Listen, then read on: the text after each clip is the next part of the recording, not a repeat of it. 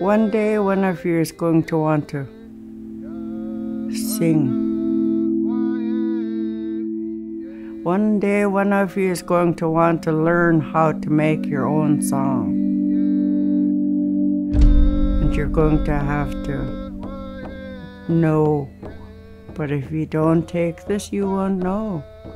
You'll never know how to talk our language. Our language is at the brink of extinction. We're losing a lot of our people that know how to talk fluently. We've only got so many more speakers left, so many more knowledge keepers left. What happens when we go? What happens when we pass away?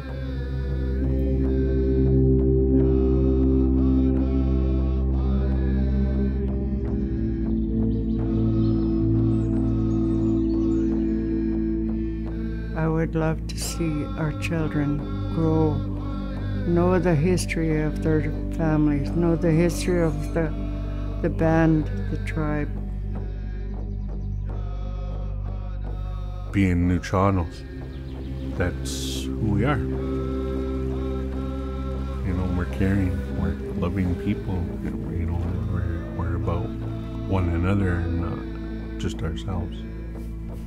You know, we're strong, persevering people. And even today, we're fighting for our land, for our rights, for our sovereignty.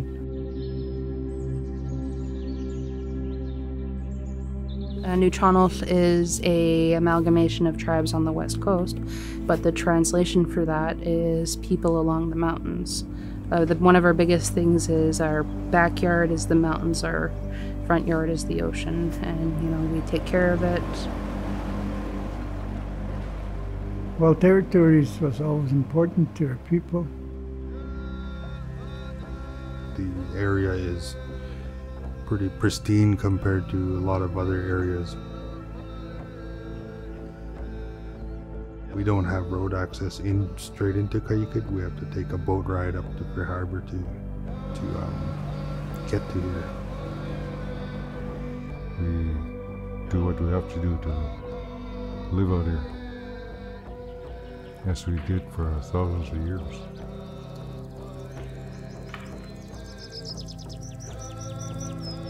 and it's, it's peaceful to the point where you're just like you never want to leave and you're so used to the quiet you're so used to hearing the water you're so used to hearing the birds chirp in the morning and it's just so peaceful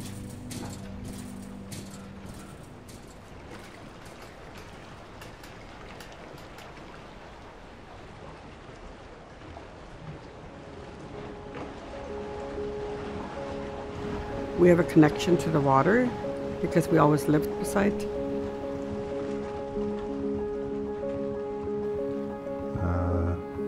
Having fish, it's a way of life for us.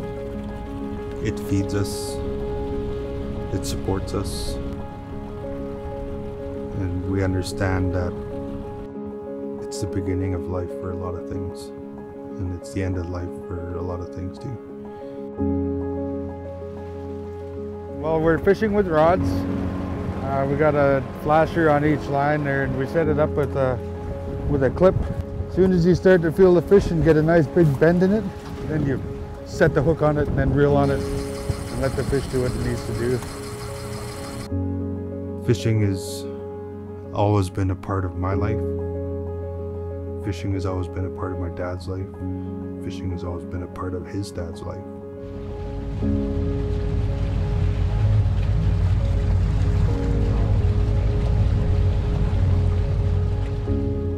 I'm also a fisherwoman.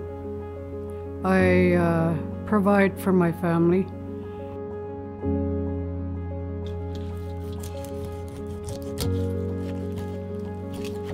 Since 1987, there was never a year where I missed going fishing. I fish every year.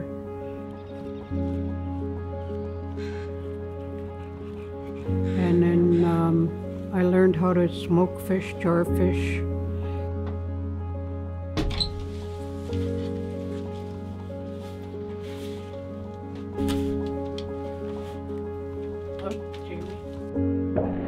We're not the only ones on this land. We share the land with the animals and we're living on their land. We have to respect Mother Nature, respect the animals, and it's a balance. I like to say Nuu-chah-nulth people are planners. So when we harvest foods, any kind of foods, we pay our respects. We make sure that we only take what we need because we are planning for the future and future generations. All right, so today we are picking heart-shaped leaves. One of the practices that we do beforehand is we say a prayer. We say a prayer to the forest, thanking the trees for the medicine, thanking the plants for the medicine, giving an offering. So the way reason why we're doing this is we're showing respect to the Mother Earth. So Waikashna Sahlapi Hatwash, Waikashna Sahlapi Hatwash, Hoopien Hahlapi Hatwash, Hoopien Ta'ils Ta'ilnish, Hoopien Machtakshiklitz, Eko Eko. The leaves that we're picking today, you guys have been picking throughout the year. There are these, these are called false lily of the valley, but this is called oye. Can you guys say that? Oye, medicine. Oye. So this stuff, it helps with pain. Like if you have sore body or like you're growing, this stuff's really good for it. So that's what we're harvesting. So you guys are gonna be in teams. So let's get picking.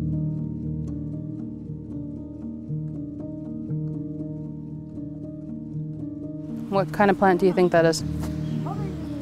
Yeah, it's a thimbleberry bush.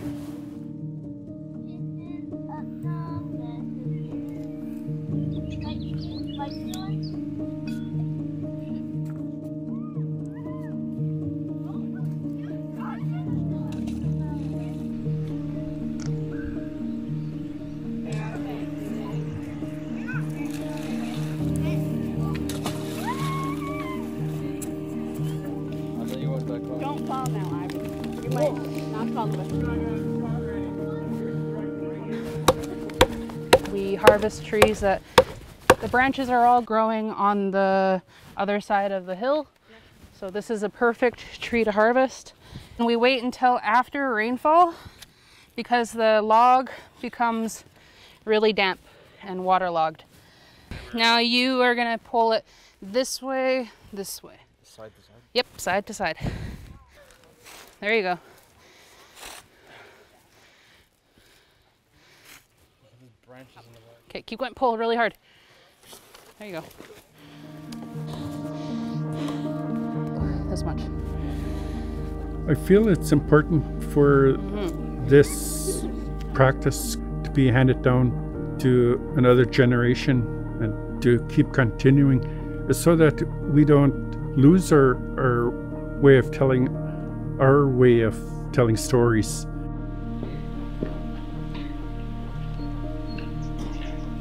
We carve a totem pole, the totem poles to tell stories.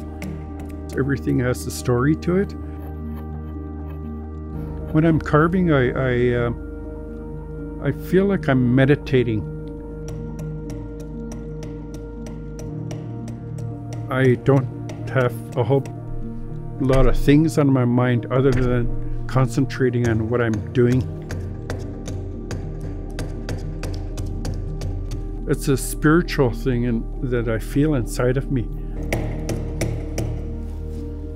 This is part of my life. This is who I am.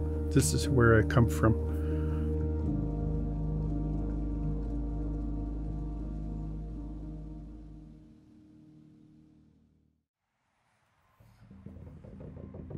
Before I went to residential school, I was being taught by the elders, and that was taken away from me when I was shipped a hundred miles away from my home. And I had no one to teach me. Uh, it wasn't taught in the schools. There was no books on the subject or anything, so I didn't have any any mentors or or someone to look up to to to teach me these things.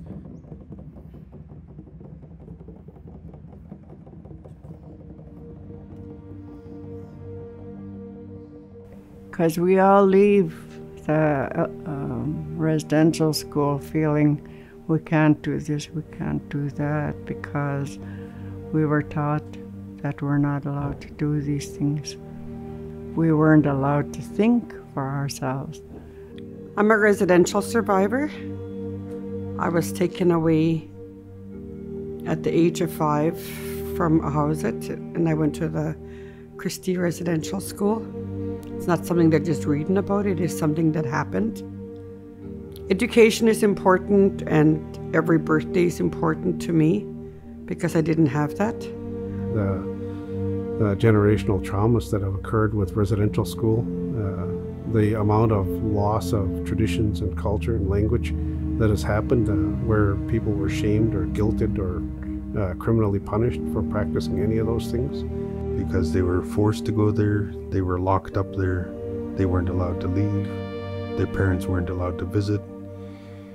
My dad and them, you know, he wasn't even allowed to say hi to his own brothers and sisters in there, you know, and struggling to survive in, uh, in uh, that environment, surviving residential school. I was 11 when I went to residential school. And residential schools and the schools that we had here forcing this English on us. And making, trying to make us forget our language. I thought about all the abuse I got, and it was as I grew older and older, I started forgetting the words.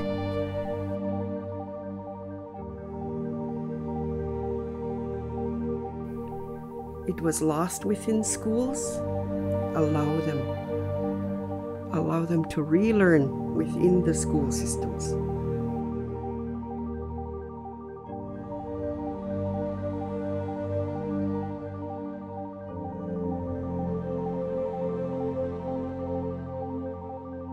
So, my main role in this school is teaching culture and language.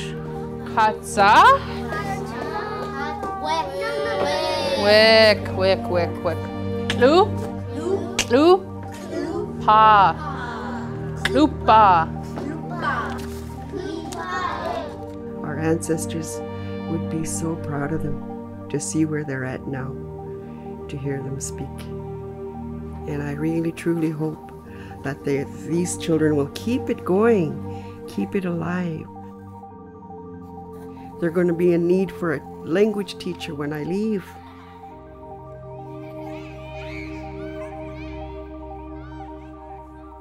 The students here get about one to two hours of, of exposure to language every week, doing different programs, different lessons around things that they're interested in. Eat skin.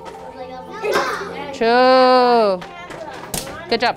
I find that when we practice our culture and language, that it fills their spirit and it's part of who they are. It's part of who I am.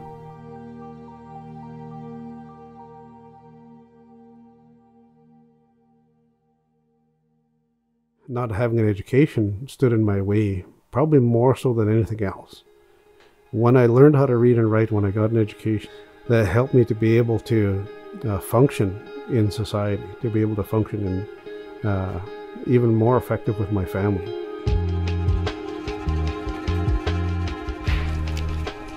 So the value of school in the, its very simplest form is that, like it's being able to communicate on another level. Uh, education gives us that kind of freedom. I think if we uh, focus on our education that we have now, we can identify ways that our traditions and our culture fit with that. And this is one of the biggest things about our teachings is that when we're teaching someone, we have the word that we use is called hahop. And when we practice the songs and dances as we're taught, as we're hahoped, we're to lift somebody. You should feel stronger. You should feel braver. You should feel more committed to who you are. Not to be afraid to express yourself in front of anybody, no matter what it is that you're expressing. And when we practice our, our traditions, our songs, and our dances, it does that. But as long as we're grasping at a, an education system that has no room to allow us to practice our own identity, to practice our our own existence. And if you don't allow that, then you're not you're never going to achieve the highest standards possible. It's never going to happen. Because if you don't allow people to be who they really are, you can't. That potential has just been snuffed out. We allow that piece of ourselves to drop away. And we can't afford that. We can't afford to pretend that we are not who we are. At the very base of it, I think, I think it's if we don't help our students to realize their real identity, we're never going to reach their full potential. Carrying forward what we need to for our our children and our future so that we keep our identity the, our culture and our language and our songs is our identity. If i don't carry it on and if i don't learn it then it's going to be lost after me. We can't lose it. Otherwise otherwise the churches win the governments win